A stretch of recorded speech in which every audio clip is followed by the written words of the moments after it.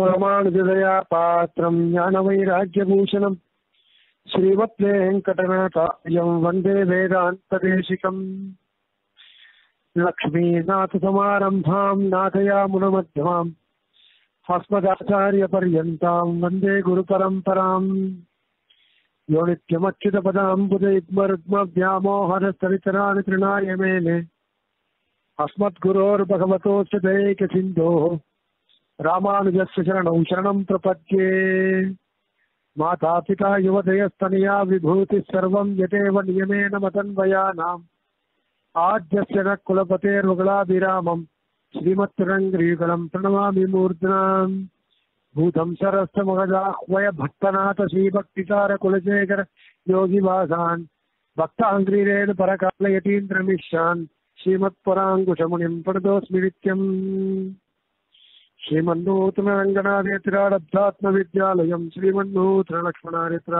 సంప్రాప్త దుర్యాశ్రమం శ్రీవాసేంద్ర కటాక్ష సందర్శుతా లక్ష్యాత్మయోకాంక్షితం శ్రీమన్నూతన వాసభీషేమణం భక్తి ఆశ్రయామో గురుం నవ్యవాగీశ యోగీంద్ర హయాచ పరసేవినం బ్రహ్మతంత్ర స్వతంత్రార్యం భజామ స్వాత్మసంపదం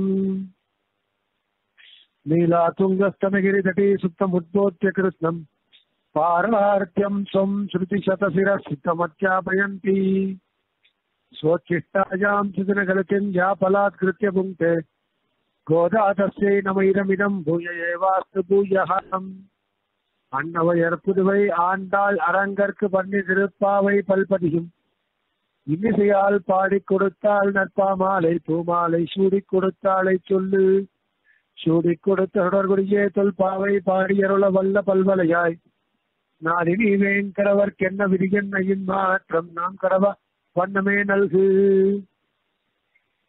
ஸ்ரீ விஷ்ணு சித்த குலநந்தன கல்பவல்லியம் ஸ்ரீரங்கராஜ ஹரிச்சந்தன யோக திருஷ்யாம். சாட்சாட்சமாம் கருணையா கமலாமிவாஞ்சாம் கோதாமனன்ய சரண சரணம் பிரபத்யேம். சர்வேபியா நமஸ்காரா இருபத்தி ஐந்தாவது பாசுரம் ஒருத்தி மகானாய் பிறந்தென்ற பாசுரம். போன பாசுரம் அன்று இவ்வுலகம் அளந்த அடிப்போற்றின்ற பாசுரம் அந்த பாசுரத்துல மங்களாசாசனம் பண்ணான். அப்படியும் எப்படி மங்களாசாசனம் பண்ணான்னா அந்த திருவடிக்கு உண்டான பெருமையை சொல்லி மங்களாசாசனம் பண்ணான். இல்லையா? அந்த திருவடிக்கு எவ்வளவு பெருமை இருக்கு. அந்த திருவடிக்கு என்னெல்லாம் பெருமை இருக்கு. அந்த திருவடியினால என்னென்னலாம் பெருமாளுக்கு கஷ்டம் ஏற்பட்டிருக்கு அப்படின்னு ஆச்சாரியர்கள் சொன்ன ஸ்ரீசக்திகள்லாம் கொண்டு உபன்யாசம் நாம பார்த்தோம். இப்போ அந்த திருவடியை மங்களாசாசனம் பண்ணபடி அந்த திருவடியை மங்களாசாசனம் பண்ணதை கேட்டுட்டு எம்பெருமான் சந்தோஷமாக வெளியில வந்து அவளுக்கு சேவை சாதிக்கிறதாக இந்த பாசுரம் இருக்கு. சேவை சாதிக்கிறதுக்கு தயாரா வரான். இது அப்படின்னா சந்தோஷம்.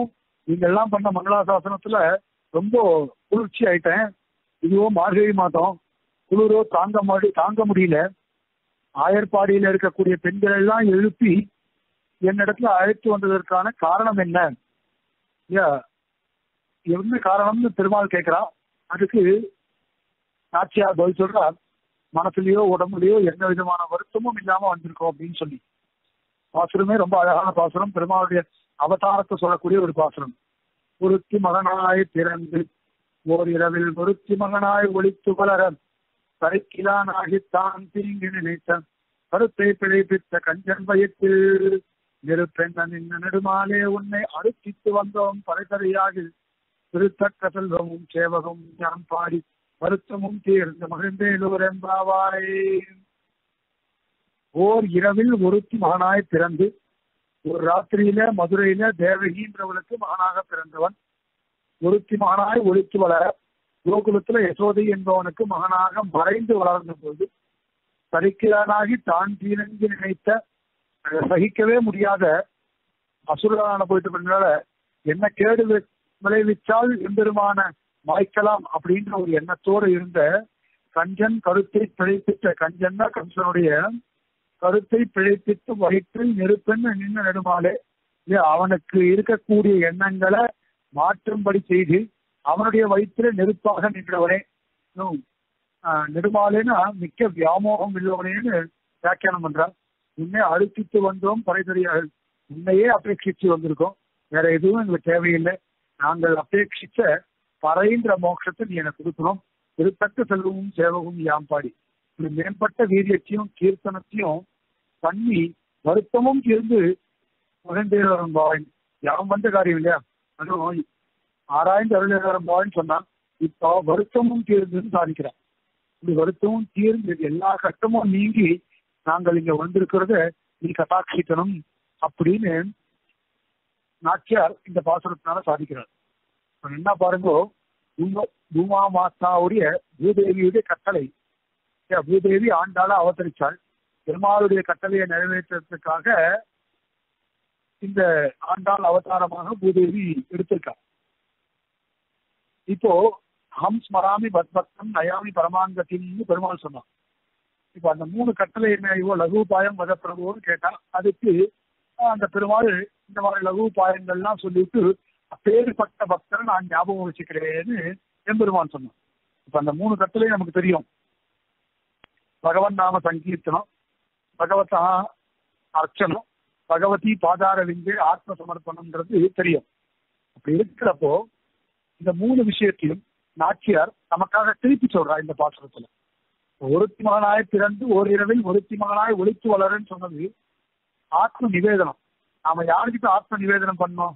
இப்போ இருபத்தி நான்கு தத்துவங்கள் அச்சேதன தத்துவங்கள். இருபத்தைந்தாவது தத்துவம் ஜீவன். இருபத்தி ஆறாவது தத்துவம் பெருமாள். இது நம்ம சம்பிரதாயத்தில் இருக்கக்கூடிய தத்துவ விபாகம். இருபத்தைந்தாவது தத்துவமா இருக்கக்கூடிய ஜீவன் இந்த பாசுரத்து மூலமாக ஆத்ம நிவேதனம் பண்றானோ இல்லையோ? இன்னி பர்யந்தம் திருப்பெருமாள் சன்னதியில போய் பார்த்தால் தெரியும். இருபத்தி நான்கு படிக்கட்டு இருக்கும் மலையில அத்திகிரி அருளாத பெருமாளை சேவிக்கிறதுக்கு முன்னாடி நாம இருபத்தி நாலு படிக்கட்டு ஏறி போகணும். இந்த இருபத்தி நான்கு படிக்கட்டையும் கடந்து மேல போய் நாம ஜீவனா இருக்கக்கூடியவாள் அந்த தேவாதிராஜனை சேவிக்கிறதாக சம்பிரதாயம். இல்லையா? முதலாந்தகத்திலும் இருபத்தி நான்கு தூண்கள் இருக்கு காயத்ரி மண்டபத்துல ஏரிகாத்த ராமர் சன்னதியில.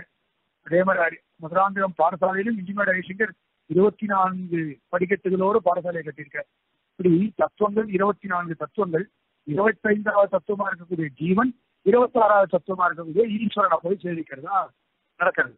இப்போ இந்த பாசுரத்துல ஆத்ம நிவேதனம் பண்ணணும் ஜீவனுடைய சரணாகதி தான் ஜீவனுக்கு பிரபத்தி மார்க்கம் ஒன்று தான் ஜீவனுக்கு தலையாய வ- சிறந்த வழின்னு சொல்லியிருக்கார். அப்படி ஒருத்தி மகனாய் திறந்து ஓர் இரவில் ஒருத்தி மகனாய் ஒழித்து வளர்ந்தவன் எவனோ அவரிடத்துல நம்ம ஆத்ம நிவேதனம் பண்ணிக்கணும்னு நாச்சியார் முதல் வரியில சொல்றோம் அடுத்தது நெருப்பென்று இன்ன நெடுமாலே உன்னை அறுத்திட்டு வந்தோம் பரைத்துறையாதுன்னு பகவத்தா அர்ச்சனை சொல்றான். ஏன் உன்னை அறுத்திட்டு அரிச்சிட்டு அரிச்சிட்டு அப்படின்னு அர்த்தம். அந்த அபேட்சித்து வந்தோம்னு சொன்னான். இப்போ உன்னை அர்ச்சித்து வந்திருக்கோம் நாங்களாம் எதுக்கு அப்படின்னா பறைங்கிற மோட்சத்துக்காக. அது பகவத்தா அர்ச்சனம் அடுத்தது முதல் கட்டல இருக்கும் இல்லையா? பகவான் நாம சங்கீர்த்தனம். அது எங்க சொல்லியிருக்காங்க திருத்தக்க செல்வமும் சேவகமும் யாம் பாடி. அந்த பாடின்ற முன்னாடி பையத்திருந்த பரமநடி பாடின்னு சொன்னான். கேசவனி பாடவும் நீ கேட்டே கிடத்தீரோன்னு சொன்னான். அப்படி இருக்கிறப்போ இந்த மாதிரி மூன்று கட்டளைகளை நிறைவேற்றுறதுக்காகத்தான் நாச்சியாரானவள் அந்த பூமாதேவியானவள் பூலோகத்துல வந்து ஆண்டாலும் அவதரிச்சார்ன்றதை நம்ம பார்த்தோம். இப்போ மேல இந்த பாசுரத்துல எந்த விதமான வருத்தமும் இல்லாமல் இருக்கா இல்லையா? என்ன கேட்கிறாவா அப்படின்னா கவலைன்றதே பக்தாளுக்கு வராது. ஏன் அப்படின்னா அவனுடைய மதுரமான குணங்களை மனசுல கீர்த்தனம் பண்ணிட்டு வந்தால் எந்த விதமான கவலையும் இருக்காது இல்லையா? சைத்தியத்தினால வரக்கூடிய ஏன்னா பனித்தலை விழ நீ வாச பற்றினா. சைத்தியத்தினால பாதகம் இல்லையா அப்படின்னு அவன் கேட்கறான். சைத்தியத்தினாலும் எந்த விதமான பாதகம் இல்லை அப்படின்னா. சரி நோன்புக்கு நோன்புக்காக நாங்க இந்த மாதிரி சாமகிரிலாம் கேட்க வந்திருக்கோம் நீ நினைச்சிட்டு இருக்கியா அப்படின்னா அதுவும் கிடையாது. என்ன யோபியர்கள் அதை கேட்கிறாரோ ஒழிய நாங்க அதுக்காக வரல. ஏன்னா பிராட்டி இல்லையா? நாங்க அதுக்காக வரல. உன்னை அடையறதுக்காகவே வந்திருக்கிறோம்னு தங்களுடைய அபிப்பிராயத்தை இந்த பாசுரத்துல வெளியிடுறாங்க.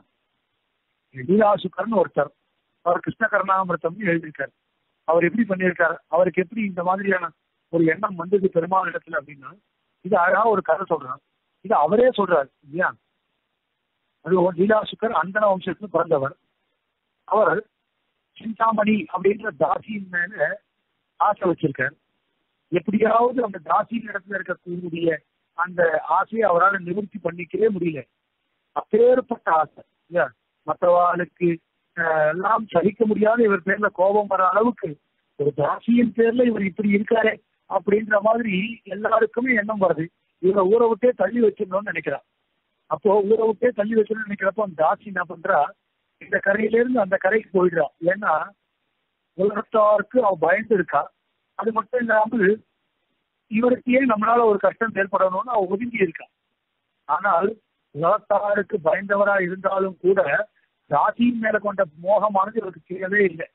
அதனால என்ன பண்றாருன்னா இந்த நதிக்கரையிலேருந்து அந்த நதிக்கு இந்த கரையில அந்த கரைக்கு போறார். அந்த கரைக்கு போறப்போ ராத்திரி நடு ராத்திரி அந்த பக்கம் போறார்.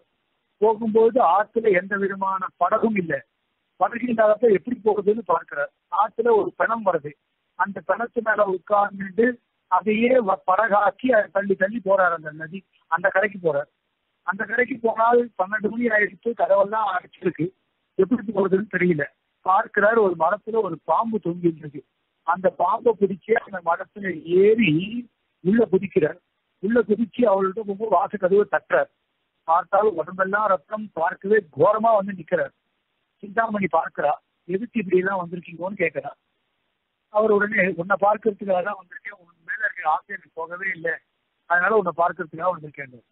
அப்போ சிந்தாமணி சொல்றா என்னை பார்க்கறதுக்காக இவ்வளவு பிரயத்னப்பட்டு இவ்வளவு கஷ்டப்பட்டு உடம்பெல்லாம் ரத்தத்தோடு இங்க வந்திருக்கேன்.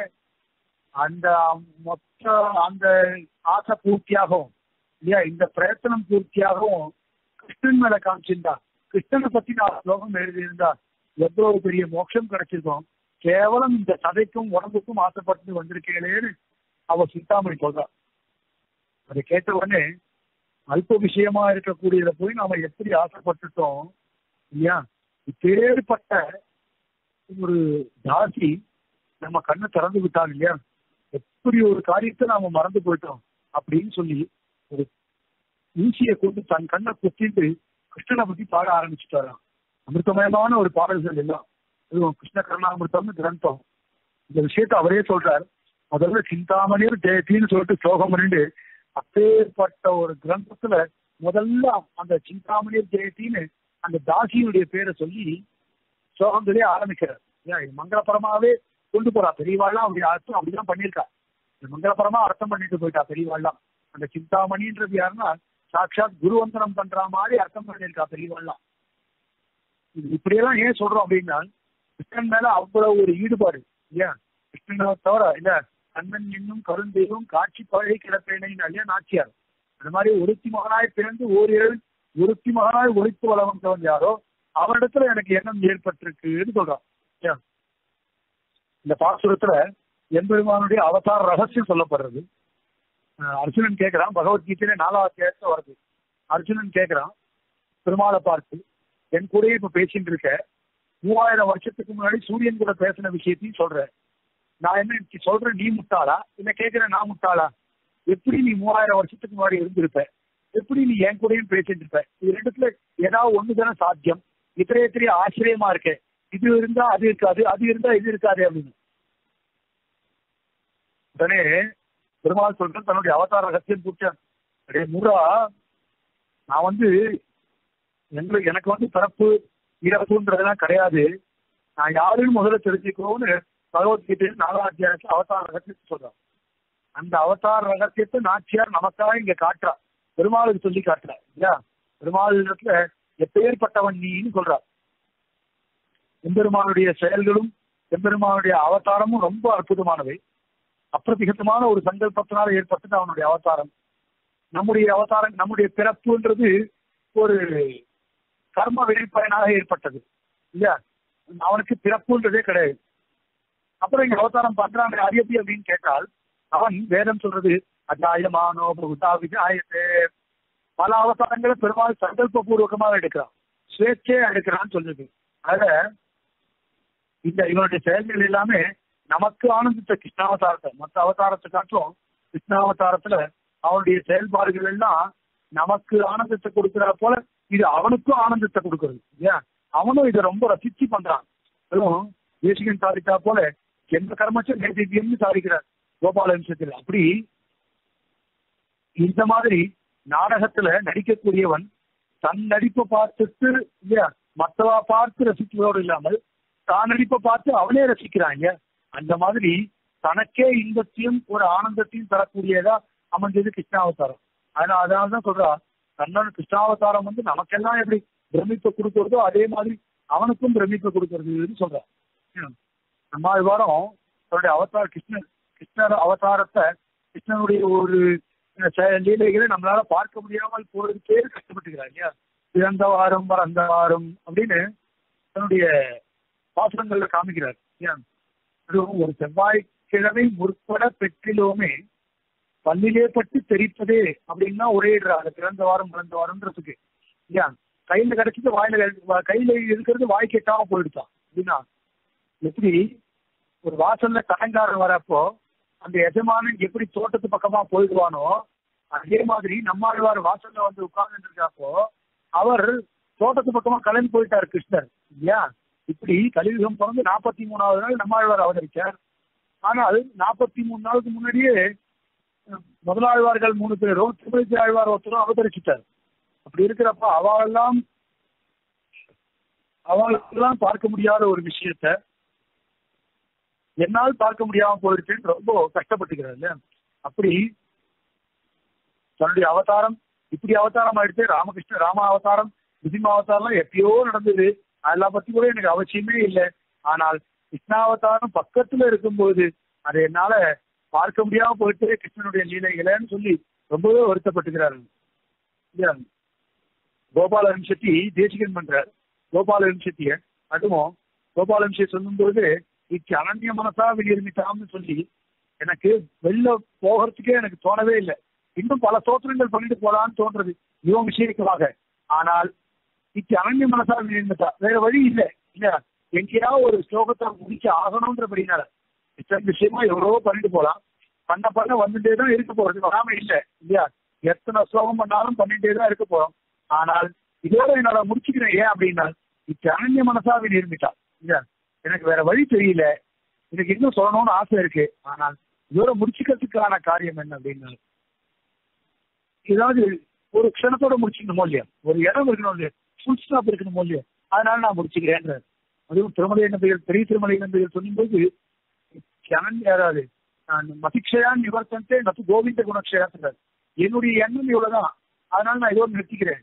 அதனால உன்னுடைய குணங்கள் இவ்வளோன்றது அர்த்தம் இல்லை. என் புத்தியோடைய க்ஷயம். என் புத்தி இதுக்கு மேல இல்லை. அதனால நான் நிறுத்திட்டேன். ஆனால் கோவிந்தனுடைய குணங்கள் எவ்வளவோ இருக்குன்னு சாதிக்கிறார். அந்த மாதிரி தேசிக்கணும் நித்யானந்தமான சா விநிர்மிதாம் வெங்கடேஷ கவினா சுச்சிம் பட்டன் திவ்யவேணுரசிகம் समीक्षते தெய்வத்தம் किमपि யௌவன பிரியம் நான் இதோட முடிச்சுக்கிறேன்டா வேற இன்னும் வேற ஒரு விஷயத்திலையும் என் மனசானது செல்லவே இல்லை அப்பேற்பட்ட தேசிகனால இந்த கவியானது இயற்றப்பட்டிருக்கு இல்லையா அதுவும் தெய்வீகமாக புல்லாங்குழலில் ரசானுபவம் செய்தும் இல்லையா இளம் வயசே இருக்கக்கூடிய அந்த பெண்களுக்கு இனியதுமா ஒப்பற்ற தெய்வத்தை நான் பார்த்துட்டு இருக்கேன் இப்பேற்பட்ட ஒரு விஷயத்துல இருந்து என்னால வெளில போக முடியுமா? இந்த பெருமாளுக்கு ஈடு வேற பெருமாள் இருக்கிறதான்னு தேசிகன் சாதிக்கிறார்ன்றார். அதே போல நாச்சியாரும் ரொம்ப அழகா சொல்றாரு இந்த பாசுரத்துல ஆரம்பத்திலேயே ஒருத்தி மகனாய் பிறந்து ஓரிரவில் ஒருத்தி மகனாய் ஒழித்து வளர ஒருத்தி மகனாய் பிறந்து. நாச்சியார்டா இங்க பேர் சொல்லல. ஏன்னா ஒரு புறம் நாச்சியாருக்கு மாமியார்ன்றபடினால பேர் சொல்லலன்னு சொல்லுவா ஆனால் ஏன் தேவகி யசோத பேரை சொல்லல அப்படின்னால் அதுவும் யசோத பேரை கூட ஒரு இடத்துல சொல்லியிருக்கா தேவகி பேரு எங்கேயுமே சொல்லல. ஏன் சொல்லல அப்படின்னா சாட்சாத்தா பெருமாளை பெற்றெடுத்தவள் அப்படின்னால அவளோட பேரை சொல்லணும் ஒரு தீ அப்படின்னு சொல்லிட்டா தேவகின்ற பெண்மணிக்கு எந்த இரவு கிருஷ்ணன் அவதரித்தானோ அதே இரவுல யசோதைன்ற பெண்மணிக்கு மகனாக போனான்னு பேரு. இல்லையா? தச- தசரத சக்கரவர்த்தி புத்திரகாம பண்ணார். புத்திரகாம பண்ணி நாலு பிள்ளையை பெற்றெடுத்தார். இல்லையா? வசுதேவன் தேவகி நந்தன் யசோதை நாலு பேரை சேர்ந்து ரத்னம் போன்ற ஒரு பிள்ளையை பெற்றெடுத்தார். தசரதன் ஒருத்தர் நாலு பிள்ளை பெற்றெடுத்தார். இவா நாலு பேர் சேர்ந்து ஒரு பிள்ளையை பெற்றெடுத்தார். அந்த அளவுக்கு இவா நாலு பேருக்கு ரொம்ப ஏற்றம் இருக்கு அப்படின்னா. இல்லையா? ஒரு பெண்ணிடத்துல ஐந்து புருஷர்கள் மோகம் கொண்டிருக்கார். அவர் மோகம் கொண்டா அவளுக்கு சுகம் ரொம்ப ஜாஸ்தி. இல்லையா? அதே மாதிரி ரெண்டா பசங்க ஐவரே ஐந்து பேரை கணவனாரைங்க திரௌபதியுடைய வாழ்க்கை ரொம்ப சிறந்து இருந்தது. ஏன்னா ஒவ்வொருத்தரும் அவருடைய அபிமத்தத்தை பூர்த்தி பண்ணி வச்சுட்டே இருக்கான் ஏன்? அந்த அளவுக்கு கண்ணன் மேல ஒரு ஈடுபாடு இருக்குன்னா. ஏன்னா ஒரு ஒரு அரசன் இருக்கா அவளுக்கு ஒரே ஒரு பையன். அந்த ஊருக்கே அவன் ஒரு தான் இளவரசன். அப்படி இருக்கிறப்ப அந்த ஊருக்கே அவன் பேர்ல ஆசை ஏற்பட்டுட்டாங்க. இதே மாதிரிதான் ஸ்ரீராமச்சந்திரமூர்த்தி பேர்ல அந்த அயோத்தியில இருக்க மொத்த பேருக்குமே ஆசை இல்லையா? அப்பேற்பட்ட புத்திரன் அவன். அந்த மாதிரி கண்ணன் அந்த நந்தகோகுலத்துக்கே அப்படி புத்த புத்திரனா எல்லாருக்கும் எல்லாரும் அவன் பேர்ல ஈ- ஒரு ஈடுபாடு இருக்கக்கூடிய அளவுக்கு அவன் புத்திரனா இருந்தாங்க. ஏகபாத்திர ஏகபுத்திர அபிமானம் அபிமுகன் பேர் இருக்கு. அந்த அளவுக்கு கண்ணன் ஒரு ஈடுபாடோடு இருக்கக்கூடிய கண்ணன் மேல எல்லாருக்குமே ஒரு ஈடுபாடு இருந்தது. இப்போ ஒருத்தி மகனாய் திறந்து ஓரிரவில் ஒருத்தி மகனாய் ஒழித்து வளரணும் எம்பெருமான வெளிப்படுத்துறவர் ஆச்சாரியர். இல்லையா? எம்பெருமான வெளிப்படுத்துற ஆச்சாரியனுடைய திருநாமத்தை நாம சொல்ல மாட்டோம். அதே மாதிரி எம்பெருமான வெளிப்படுத்தினபடியினால அவளும் ஆச்சாரியன் ஆயிட்டா. யாரு? எம்பெருமான பெற்றெடுத்தவாளும் ஆச்சாரியன் ஆயிட்டா. அதனால அவளுடைய நாமோச்சாரணமும் பண்ணக்கூடாதுன்றபடியினால நேரடியா பேரை சொல்லாமல் ஒரு தீ அப்படின்னு சொன்னா பாசுரத்துல. இப்போ மற்ற அவதாரங்களை காட்டும் ராமாவதாரத்திலையும் கிருஷ்ணாவதாரத்திலையும் அதே மாதிரி வாமன அவதாரத்துல மூன்று அவதாரங்கள்ல தான் பெருமாளுக்கு சாட்சாத்து அப்பா அம்மா இருக்கிறதா சொல்லியிருக்கா. ரேணுகா இருக்கா ஜமதக்னி இருக்கா அது பெருமாளுடைய ஒரு பூர்ண அவதாரம் இல்லைன்னு சொல்றா. அது தசாவதார ஸ்லோகத்திலே இது பூர்ண அவதாரம் இல்லை. இது எம்பெருமானுடைய தசாவதாரத்துல சேர்ந்து இருக்குன்னு தேசியம் காட்டுச்சார் இல்லையா? அப்படி இந்த மாதிரி எம்பெருமானுடைய பூர்ண அவதாரமா இருக்கக்கூடிய வாமன அவதாரம் ராம அவதாரம் கிருஷ்ண அவதாரம் இது மூணுத்துலயுமே எம்பெருமான் கர்ப்பவாசத்தோட பிறக்கிறார். அப்படி பிறக்கிறப்போ மற்ற அதாவது மற்ற அவதாரங்களாம் ஒரு தாய் ஒரு தகப்பன். இந்த அவதாரத்துல மட்டும் ரெண்டு தாய் ரெண்டு தகப்பன் ரெண்டு குலம். வசுதேவன் தேவகி. அதே மாதிரி யசோதை நந்தகோபன். இவங்க பாருங்க வசுதேவன் தேவகின்றது மதுரா குலம். யசோதை நந்தகோபன்றது வந்து கோகுல குலம். ஒன்னு சக்கரவர்த்தி குலம். இன்னொன்னு இடைச்சியர் குலம். இல்ல இடையர் குலம்.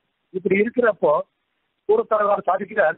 யோகு மாதரவுச்ச மாதரௌச்ச பிதரௌச்ச குலே அபித்வேன் சாதிக்கிறார். அப்படி இந்த மாதிரி அம்மா ரெண்டு பேர் அப்பா ரெண்டு பேர் குலமும் ரெண்டு குலம் இல்லையா? சம்பந்தமே இல்லாமல் குளங்களும் இது மாதிரி இருக்கு இல்லையா? அதுதான் சாதிக்கிறப்போ ஒருத்தி மகனாய் பிறந்து ஓரிரவில் ஒருத்தி மகனாய் ஒருத்து வளரேன்னு சாதிக்கும் இல்லையா? என்ன பார்த்துக்கோ பிழைத்திருந்த போது தந்த வா தந்தையுடைய வாக்கு கேட்கணும் இல்லையா? தந்தை போயிட்டாருன்னா அவரை நினைச்சு ஒவ்வொரு பரியந்தம் ஒவ்வொரு வருஷமும் நம்ம கால பரியந்தம் அவருக்கு ஸ்ராத்தாதிகள் பண்ணணும். இல்லையா? அப்படி இருக்கக்கூடியவன் தான் புத்திரன். தகப்பனிடத்துல எவன் தேசத்தை காண்பிக்கிறானோ அவன் புத்திரனே இல்லைன்னு சாஸ்திரம். இல்லையா? ஆழ்வார் ராமனை பத்தி சொல்லும் போது தசரதற்கு மகன் தன்னைன்னு சாதித்தார். ஏன் அப்படின்னா கீழே இருக்கிற மாதிரி புத்திரன் இல்லை. இப்ப நான் சொன்ன மாதிரி புத்திரன் கிடையாது. இல்ல ஸ்ராத்தாதிகள் கூட பண்ணாம இருக்கிற போல ராமன் புத்திரன் கிடையாது. எப்படின்னா தசரதனுடைய வார்த்தையை காப்பாற்றவும் புத்திரன் இல்லையா? எப்பேற்பட்ட புத்திரன் அப்படின்னா மத்தியேயம் பக்ஷேயம் விஷமுகி மத்தியேயம் அபிச்சாரணவே நீர்த்தா பூனா பித்ரான் பாதிச்சார் இல்லையா நீ சொன்ன நான் விஷத்தை கூட குடிப்பேன் நீ சொன்ன நான் கடலுக்கு நடுவுல கூட போய் நிக்கிறதுக்கு தயாரா இருக்கேன் அப்பா குருவா இருக்கக்கூடிய என்னுடைய அப்பா சொல்லிட்டாருனா நான் எந்த காரியம் வேணா பண்ணுவேன்னு சொன்னாரு அப்படி ஒரு பித்ருவாக்கிய பரிபாலனம் அது நான் மட்டும் பித்ருவாக்கிய பரிபாலனம் பண்ணணும் இல்ல மத்தவாளும் பண்ணணும்னு சொல்லிட்டு கூட இருக்கிறவாளையும் ஸ்வயா மயா சீதையா லக்ஷ்மணேன என்ன சுமித்ரயா பித்ருவாக்கிய நியோக்தவியம் பித்ருவாக்கிய நியோக்தவியம் இல்லையா யாரா இருக்கும் ஸ்வயா மயா சீதையா நானா இருந்தாலும் சரி நீயா இருந்தாலும் சரி சீதையா இருந்தாலும் சரி சுமித்ரையா இருந்தாலும் சரி லக்ஷ்மணனா இருந்தாலும் சரி பித்ருவாக்கிய பரிபாலனம் பண்ணியே ஆகணும் ஏன் அப்படின்னா ஏழு தர்ம சனாதனா இதுதான் நம்மளுடைய பரம்பரையில தொன்று தொட்டு வர வழக்கம் தான் அந்த அளவுக்கு பித்ருவாக்கிய பரிபாலனம் பண்றபடினால இல்லையா பித்ருவாக்கிய பரிபாலனம் பண்றபடினால ராமனுக்கு ஒரு ஏற்றம் இருந்தது அதே மாதிரி கிருஷ்ணனுக்கும் ஏற்றம் இருக்கு என்ன அப்படின்னா அவள் பிறக்கிறப்போ சாட்சாதாகவே கிருஷ்ணன் பிறக்கிறப்போ சங்கச்சக்கர கதாபாணியா பிறந்தான் பிறந்த உடனே தேவகி என்ன சொல்றா? ரொம்ப சந்தோஷம். ஆனா நீ இப்படி பிறந்துட்டியே. இப்படி பிறந்ததுன்னா கம்சன் உன்னை உடனே கொண்டுடுவாரு நீ உன்னுடைய சுரூபத்தை மறைச்சிட்டு தானா குழந்த மாதிரி போறான்னு சொல்றா. இல்லையா? லோகத்துல இருக்கக்கூடிய மனித குழந்தை மாதிரி பெற. இந்த மாதிரி வேண்டாம். அப்ப கிருஷ்ணன் சொல்றா மூன்று ஜென்மங்களா நீங்க தான் எனக்கு அப்பா அம்மா. அதை காட்டுறதுக்காகத்தான் நான் இப்படி பிறந்தேன். நீங்க பெருமாளே வேணும்னு சொல்லி தபஸ் பண்ணீங்களோ அதனால நாங்க இல்லையா பிருஷ்ணியா இருக்கட்டும் அதித்தியா இருக்கட்டும் தட்சிண பிரஜாபதியா இருக்கட்டும் அது மாதிரி மூன்று ஜென்மங்களும் நீங்க தான் எனக்கு வந்து அப்பா அம்மா அட காட்டுறதுக்காகத்தான் இப்படி பிறந்தேன்னு சொல்றாரு. அதுக்காக இப்பேற்பட்ட ஒரு அவதாரத்தை பண்ணபடினால நாச்சியாரன சொல்றா ஒருத்தி மகனாய் பிறந்து ஓரிரவில் ஒருத்தி மகனாய் ஒழித்து வளரணும். பெரியாழ்வார் சாதிக்கிறப்போ சித்தம் பிரியாத தேவகி தன் வயிற்றில் அப்படின்னு சாதிக்கிறார். அதுவும் இவன் வடிவுக்கும் தேவகி பெற்றார். சாட்சாத் லட்சுமி கட்டாட்சத்தோடு இருக்கக்கூடிய அந்த தேவகி பெற்ற கிருஷ்ணன் பெருமாளை தன் திருவயத்துல பத்து மாசம் சுமந்தபடினால அவருக்கே ஒரு லட்சுமி கட்டாட்சம் வந்துருத்தான் இல்லையா? அப்படி ஒரு ஆழ்வார் சாதிக்கிறார். அது எப்படியா நீலமேகம் வியாக்கியானம் என்றால் நீலமேகம் போல கருத்தவனும் பீதாம்பர தாரியாயும் சங்க சக்கர திவ்யாயுதங்களை உடைய புதல்வனை பெற வேண்டும் அப்படின்னு தபஸ் பண்ணாலாம் தேவகி. ஆகையினால இவ மற்றவாளை போல கிடையாது. இல்லையா? இப்படித்தான் குழந்தை ஓணும்னு ஆசைப்பட்டா. அதனால இவ இப்படி மற்றவாளை காட்டிலும் இவள் ஒரு படி ஏற்றம் மிக்கவள்ன்றதை காட்டுறதுக்காக நாச்சியார் என்ன பண்ணா ஒருத்தி மகனாய் பிறந்துன்னு சாதிச்சான் இல்லையா? தசரதனுக்கு மூணு மனைவி இல்லையா? அப்படின்றதுனால ராமன் கைகேயின் இடத்துலையும் சுமித்திர இடத்திலையும் பெறாமல் கோசலை இடத்துல பிறந்தான். இதனால கௌசலைக்கு ஒரு ஏற்றம். வசுதேவருக்கு ஏழு கொண்டாட்டி இல்லையா? எல்லாருமே சகோதரிகள். அப்படி மற்ற வாழ்க்கைலாம் பிறக்காமல் கிருஷ்ணன் என்ன பண்ணா தேவையின் இடத்துல பிறந்தான். இந்த ஏற்றத்தை சொல்றதுக்காகவே நாச்சியார் என்ன பண்ணா ஒருத்தின்னு பிறந்துட்டேன். ஒருத்தி மகனாய். எல்லோருக்கும் சர்வலோக பிதாவா இருக்கக்கூடிய எம்பெருமான் இவனுக்கு மகனாக பிறந்தான் இல்லையா? அதனால மகனாயின்னு தாத்தா. பிதா பித்ரேன பித்ருமான்னு சொல்லிட்டு வேறும் பிதா பித்ரேன பித்ருமா அதாவது இப்படி பிதா புத்திரேன பித்ருமான் இப்பேற்பட்ட பிதா புத்திரேன. அதுவும் மற்றவாள் போல இருக்கக்கூடாது. இல்லையா? மற்றவாளுக்கெல்லாம் இல்லாத ஒரு ஏற்றத்தை இவன்கிட்ட கொடுக்கணும். இல்லையா? மற்றவாளுக்கு இருக்கக்கூடிய ஏற்றம் வேற. சாதாரணமா இருக்கக்கூடிய பிதாக்களை காட்டிலும் இவருக்கு இருக்கக்கூடிய பித்திருத்துவமானது யாருக்கு? இவருக்கு இருக்கக்கூடிய நந்தகோபனுக்கு இருக்கக்கூடிய ஒரு பித்திருத்துவமானது ரொம்பவே இது. ஆனா இதை காட்டுறதுக்காக என்ன பண்றேன்னா ஒருத்தி மகனாய் பிறந்துன்னு சொன்னான். பிறந்திருந்தா சாதாரணமா பிறக்கிறது இல்லை. இல்லையா? எம்பெருமான் பிறந்திருந்தா அவதாரம். இது வந்து ஒரு சுழற்சியா பண்ணக்கூடிய ஒரு அவதாரம். இல்லையா? நம்ம போல கர்மாவனால பிறக்கல. ஆனா அதையும் ஆண்டாள் பேசும்போது சிறப்புன்னே பேசுறாரு ஏன் அப்படின்னா கர்மத்துக்கு அடங்கினவன் எவ்வாறு சுக சுகங்களை அனுபவிக்கிறானோ அவ்வாறு என்ன இதையும் பிறப்புன்னே சொல்லலாம்னு சொல்றான் ஆச்சியார் ஏன் அப்படின்னா வகதி சரண பாஜாம் பாவினோ ஜென்மபேதான் அப்படின்னு தேசிகன் தாய்ச்சார் தன்னுடைய சோத்திரங்கள்ல அது மாதிரி சரணாகதி பண்ணவருக்கு மோட்சத்தை அழிச்சு மேல உண்டாகக்கூடிய ஜென்ம பரம்பரைகள் எல்லாத்தையும் போக்கி அவர்களுக்கு தராமல் இருக்கிறபடினால இதையும் பெருமாளுடைய பிறப்புன்னு சொல்லலாம். ஏன் அப்படின்னா சாட்சாத்து இவனை பார்த்ததுனால்தான் நமக்கு அதெல்லாம் கிடைக்காம போச்சு. அதுல இவனை பார்க்கணுன்ற ஒரு ஒரு கிரியைக்காகவே இல்லையா? பார்க்கறதுன்ற ஒரு கிரியை இவனை பார்க்கணுன்றதுக்காகவே சாட்சாத் நம்ம ஒருத்தி மகனாய் பிறந்து அப்படின்னு பார்த்தோம் பொய் நின்ற ஞானமும் என் நின்ற யோனியுமாய் பிறந்தான்னு ஆழ்வார் சாதிக்கிறார். அப்படி பத்து மாசங்கள் கர்ப்பத்துல இருந்தான்னு சொன்னார் ஒருத்தி மகனாய் பிறந்து ஓர் இரவில் ஒருத்தி மகனாய் எப்ப பிறந்தானோ அப்பவே வசுதேவர் கொண்டு போய் கோகுலத்துல விடுறாரு இல்லையா? அப்படி இந்த பக்கத்துல இருந்து அந்த பக்கத்துக்கு கொண்டு போயிடுறாரு. ஆனா ஓர் இரவிலேயே இல்லையா? ஓர் இரவிலேயே ஒருத்தி மகனாய் ஒழிச்சு வளரன். இது மற்ற நாள்லாம் மற்ற இடங்கள்லாம் இல்ல. சாட்சாத்தாகவே பெருமாளுக்கு மட்டுமே சொல்லப்பட்ட வார்த்தைன்னு சொன்னான் இல்ல மற்ற அவதாரங்கள்ல இல்லாமல் இந்த அவதாரத்துக்கு ஏற்றமான விஷயம் அப்படின்னா அது ஏன் அப்படின்னா நாலு கைகளோட ஒரு குழந்தைய பிறந்துருச்சு இல்லையா? இந்த குழந்தைய பார்க்கும்போது ஐந்து தலைகளோடு இருக்கிற மாதிரி கண்டாலாம் இது என்னன்னு பார்த்தாலாம் நான்கு தலை ஒரு புறமா இருக்கான் ஒரு தலை ஒரு புறமா இருக்கான். பக்தியோடையும் சிரத்தையோடையும் உத்து பார்க்கறாளாம் தேவகி. உத்து பார்த்த உடனே நாபி கவலத்துல பிரம்மா இருக்காராம் ஏன் யாருக்குமே கிடைக்காத பாக்கியம் தேவகி கிடைச்சது ஏன்னா உள்ள பிறக்கும்போதே பேரனும் பிறந்துட்டான். இந்த மற்றவருக்கு கிடைக்காது இல்லையா? உள்ள பிறந்து பல வருஷம் கழிச்சுன்னு பேரன் பிறப்பான். ஆனால் தேவகிக்கு மற்றும் பிள்ளையும் பிறந்தான் ஒரே சமயத்துல பேரனும் பிறந்தான். ரெண்டு பேரையும் ஒரே சமயத்திலேயே பார்த்தால் தேவகி அதை சொல்றதுக்காகத்தான் உருத்தி மகனாய் பிறந்து ஒரு இரவில் உருத்தி மகனாய் ஒழித்தார் இவளுக்கு சதுரிசம் இந்த லோகத்துல யாருமே கிடையாது அப்படின்னு. இந்த அளவுக்கு ஒரு ஏற்றம் இவா ரெண்டு பேருக்குமே இருக்கு. யசோதைக்கும் இருக்கு தேவகிக்கும் இருக்குன்னு சொன்னான். இம்பெருமான் ஆயர்பாடியில ஒரு வயசு வரைக்கும் வளர்ந்தான். இல்லையா? ஒரு வயசு வரைக்கும் வளர்ந்துட்டு மதுரைக்கு வந்துட்டான். மதுரைக்கு வந்து தேவகியை பார்க்கிறான். தேவகி உன்னுடைய பால லீலைகளை என்னால பார்க்கவே முடியாம போச்சு பத்தியாவது வருத்தப்படுறான். அப்படி வருத்தப்பட்ட உடனே நீ அதுதானே ஓனோ அப்படின்னு சொல்லி எல்லா லீலைகளையும் ஒன்னா காட்டுறான். ஒன்னா காட்டி இவன் என்ன பண்றான்? அந்த ஆறு குழந்தையும் முன்னாடி இறந்து போச்சு இல்லையா? அந்த ஆறு குழந்தையும் எதிர வர வச்சு சன்னிபானம் பண்ண வச்சு தேவைக்கு அப்பேற்பட்ட ஒரு உத்தமமான ஒரு விஷயத்தை கொடுத்தானா இந்த மாதிரி ஒரு வாக்கியத்தை கொடுத்தானு சரி கிருஷ்ணன் எப்போ பிறந்தான்? அஷ்டமின்ற திதியில பிறந்தான். இல்லையா? இதுக்கு மேன்மை உண்டா அப்படின்னா மேன்மை உண்டுன்னு சாதிக்கிறார் வியாக்கியானக்காரர். எப்படின்னா இதுலப்பி பக்ஷயோகோ திதிஹி யா அப்படின்னு ஒரு ஸ்லோகத்துல இதனுடைய இதை பத்தி சொல்றாங்க. தேய்திரன் வளர்பிரன் ரெண்டு பக்ஷம் உண்டு. அதுல எட்டாவது திதி அஷ்டமி திதி. அஷ்டமியில சந்திரன் எப்படி இருக்கும் அப்படின்னா எம்பெருமானுடைய திருநெற்றி எப்படி அரவசமா இருக்குமோ அதே மாதிரி இருக்கும்னு சொன்னார். அந்த இந்த நெற்றியை போல அந்த அஷ்டம் சந்திரன் இருக்கிறான். இல்லையா? அந்த அர சந்திரனுக்கு இல்லையா? வரதராஜனுடைய சாட்சாத் திருநெற்றியானது உபமாவே சாதிக்கிறார் தேசியன். அந்த மாதிரி சாமுத்திரிகா சாஸ்திரத்தை என்ன சொல்லியிருக்குன்னா எவனுடைய நெற்றியானது அர்த்த சந்திரனுக்கு சமமாகவும் உயர்ந்ததாகவும் இருக்கிறதோ அவன் தான் பிரபு அப்படின்னு சொல்லியிருக்கா சாமுத்திரிகா சாஸ்திரத்தை அந்த மாதிரி கிருஷ்ணனுக்கு தெரிஞ்சுதான் இதனால அஷ்டமிக்கு ஈவன் அந்த திதியில பிறந்ததுனால அஷ்டமிக்கே ஒரு ஏற்றம் அப்படின்னு.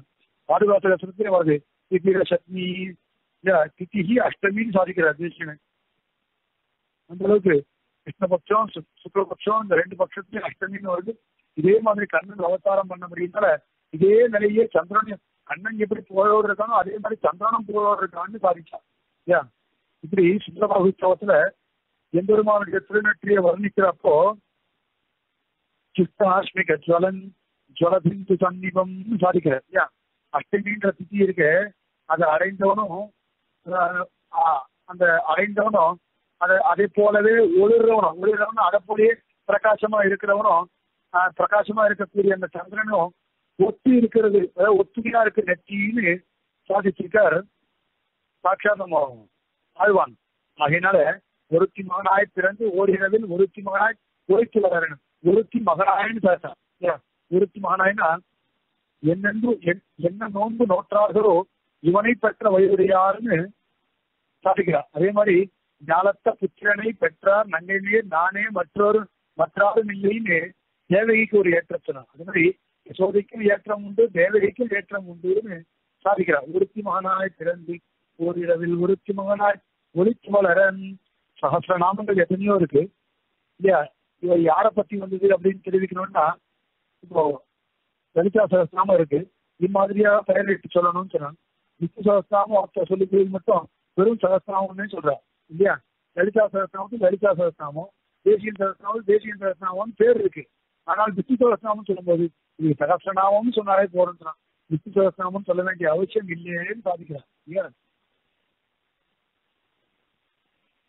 ராமனுடைய ஜெயந்தியா இருக்கட்டும் ஸ்ரீராம ஜெயந்தியா இருக்கட்டும் நிருசிம்ம ஜெயந்தியா இருக்கட்டும் இல்லையா? இதெல்லாம் வந்து ராம ஜெயந்தி நிருசிம்மன் ஜெயந்தின்னு சொல்லணும் இல்லையா?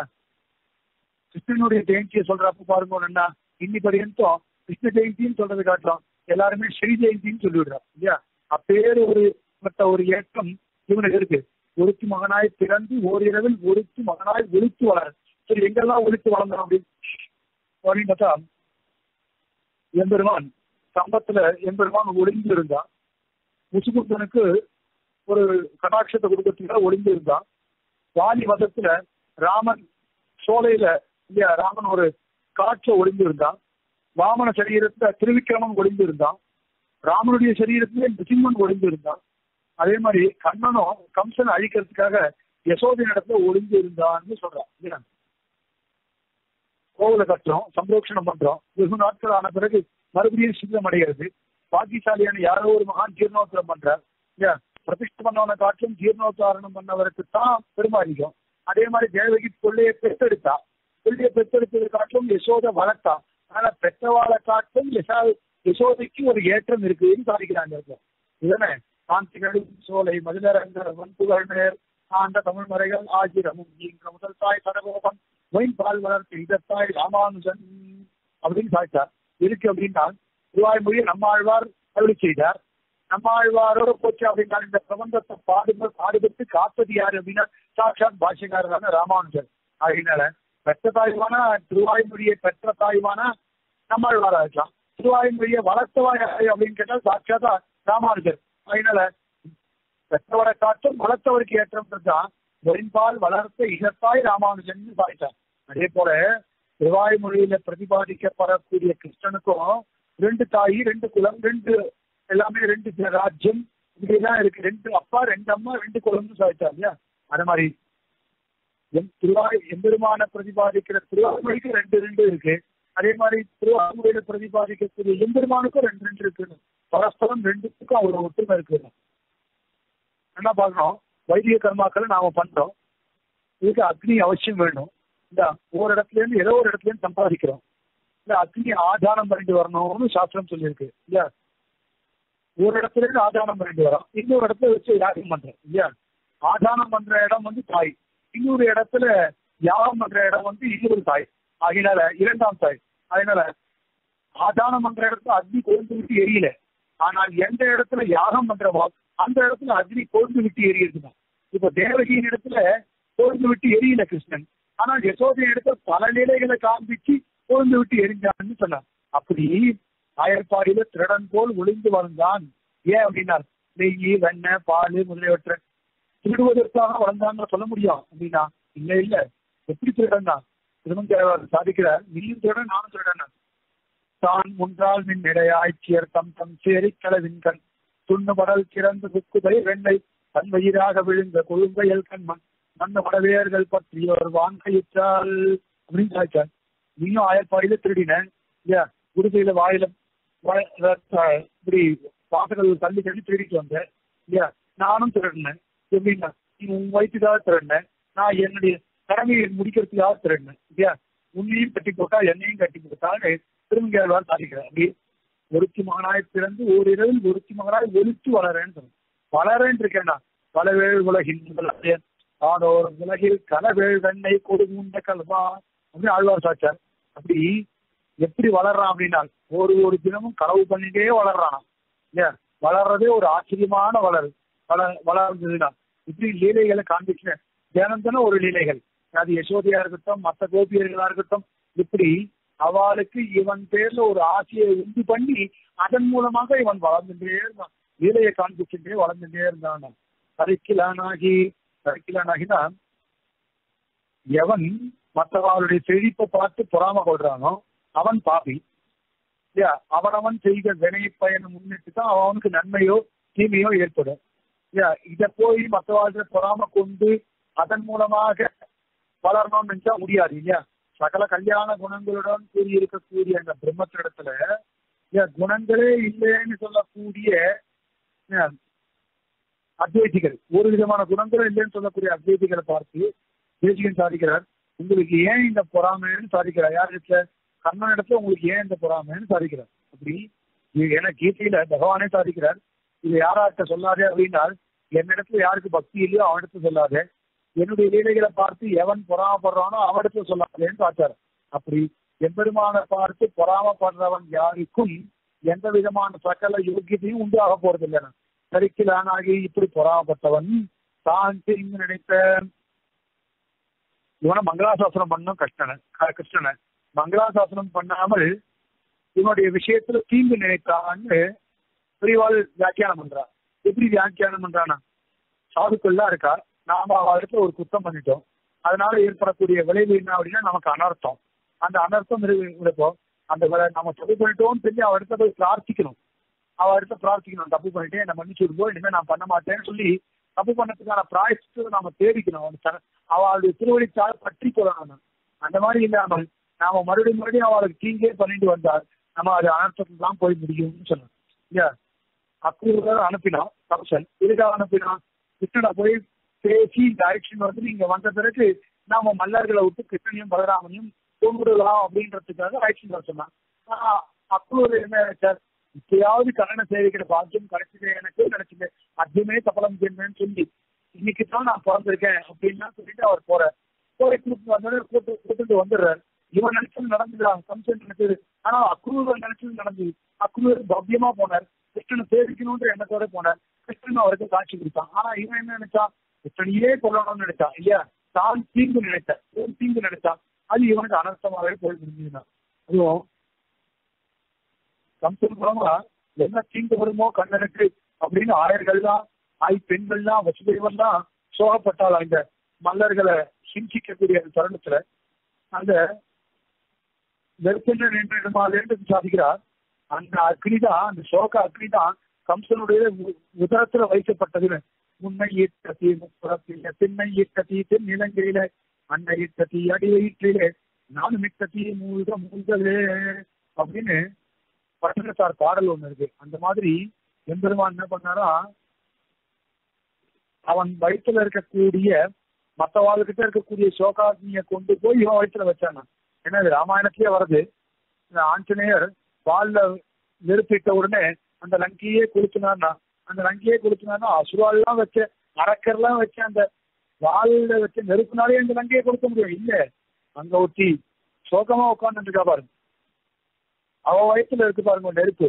அந்த நெருப்பை கொண்டு நான் இந்த லங்கையே கொடுத்தனேன்னு சாதிக்கிறார் ஆஞ்சநேயர். அந்த மாதிரி நெருப்பென்ன நின்ன நெடுமாளு இப்படி கம்சனுடைய திருவயத்துல நெருப்புன்னு நின்ன இப்படி அக்னியாக இருந்த நெடுமாலை அறியான் நெடுமாலைனா கம்சன் நமக்கெல்லாம் பகைவன்.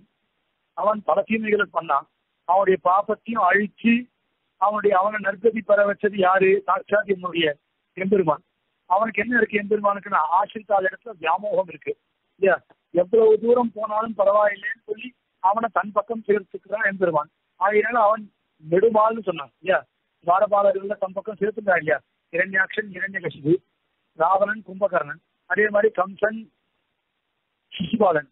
இப்படி இந்த மாதிரி மற்றவாளுடைய அவள் பண்ண தப்புகளையும் ஏற்றுக்கொண்டு இவன் வந்து தன் பக்கம் சேர்த்துக்கிறபடினால இவன் நெடுமாலைன்னு காய்ச்சான் உண்மை அரிசித்து வந்தோம் படை தெரியாது. உண்மை அரிசித்து வந்தோம்.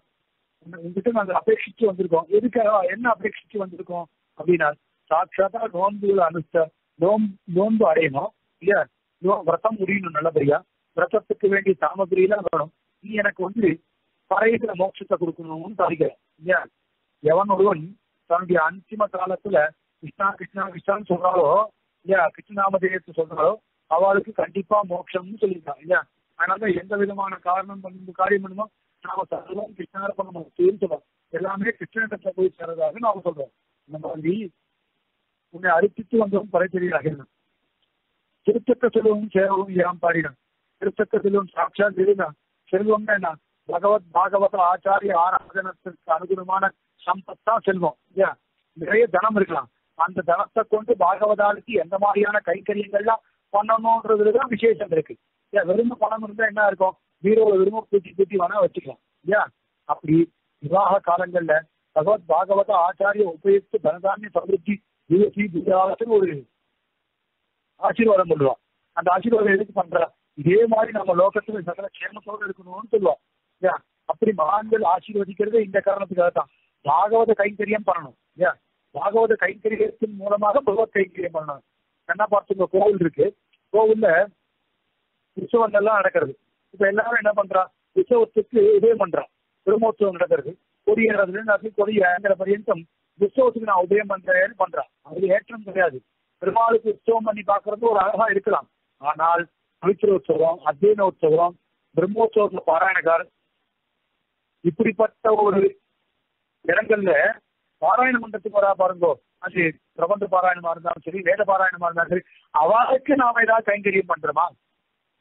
இல்லையா பாராயணக்காருக்கு சலுகை பிரதிதம் ஒரு படி சலுகை சா- சமர்ப்பிச்சு அவளுக்கு தான் துருப்பிலே விநியோகம் கொடுக்குறான்னா நாம நம்ம கிட்ட இருக்கக்கூடிய பணத்தை கொடுத்து ரெண்டு படி மூணு படி நாலு படின்னு சமர்ப்பிச்சு நல்லா நிரவதிக்கமா அவளுக்கு கொடுத்தோம்னா இது ஒரு கைங்கரியம். இல்லையா? அதே மாதிரி ஏதோ ஒரு சம்பாவனைன்னு சொல்லிட்டு அவளுக்கு கொடுத்தோம்னா இது ஒரு கைங்கரியம்.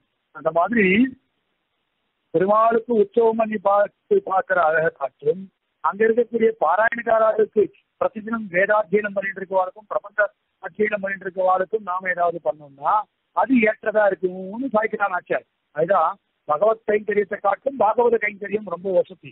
பாகவத கைங்கரியம் பண்ணாலே பகவத் கைங்கரியம் நமக்கு கிட்ட கிடைச்சிடும்னு சொல்றான்.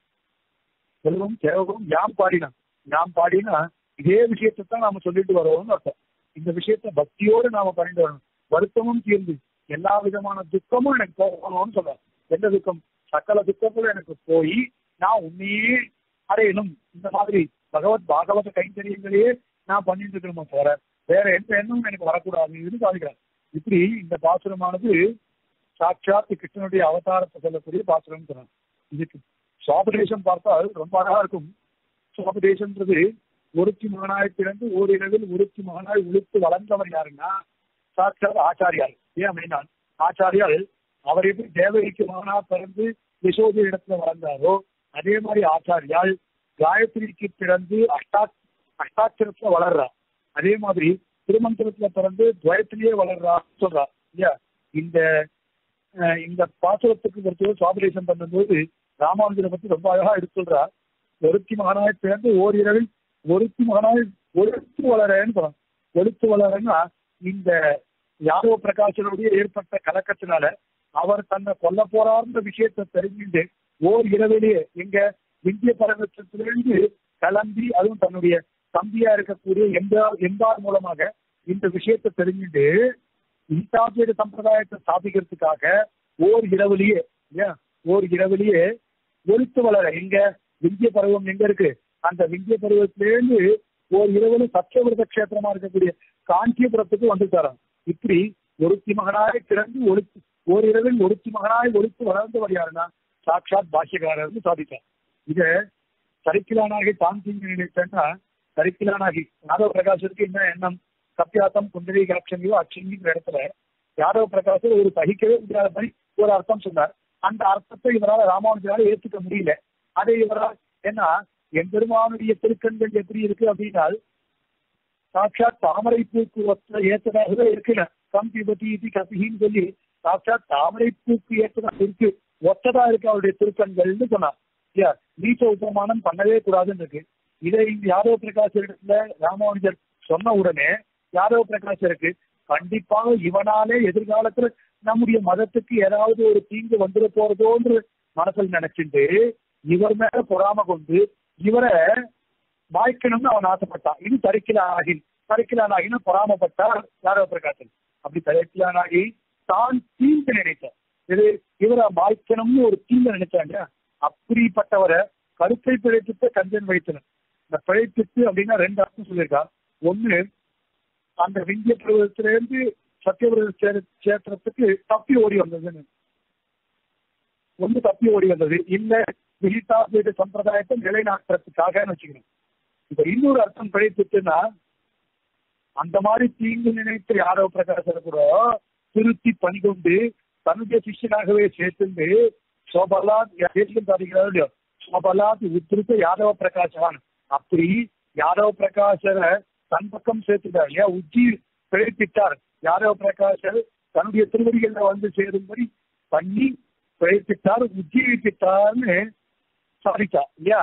அதே மாதிரி நெருப்பெண்ண நின்று நெடுமாலினா நெருப்பெண்ண நின்று நெடுமாலினா எப்படி?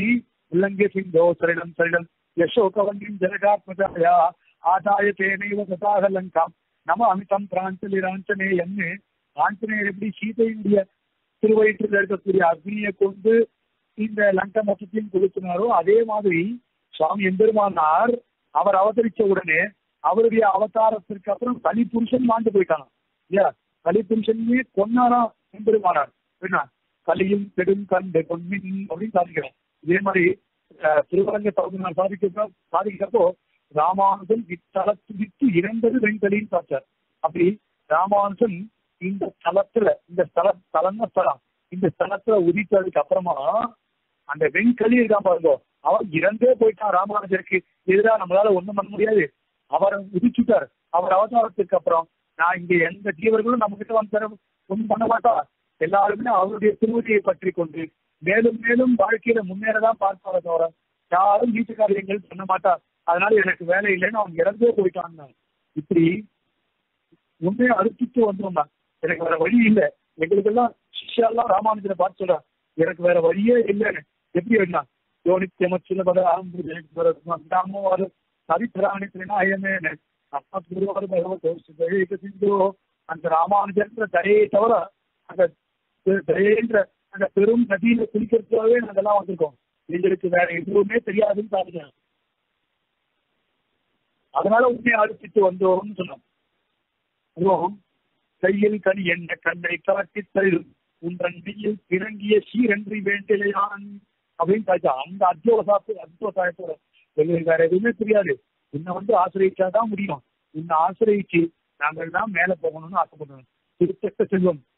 திருத்தக்க செல்வம்னா ராமாயணத்தை ஆஞ்சநேயர் சாதிக்கிறார் துல்லியசீல வயோவிருத்தாம் துல்லியாதிகன லட்சணம் ராகவோர்கதி வைதேகிம் இதை சம்சயம் சாதிச்சார் அதே போல பிராட்டிக்கு ஒத்த பெருமாள் பெருமாளுக்கு ஒத்த பிராட்டினா இந்த விஷயத்தை யார் சொல்லலாம் அப்படின்னா இதேதான் எம்பெருமானாலும் நமக்கு சொல்றது இல்லையா?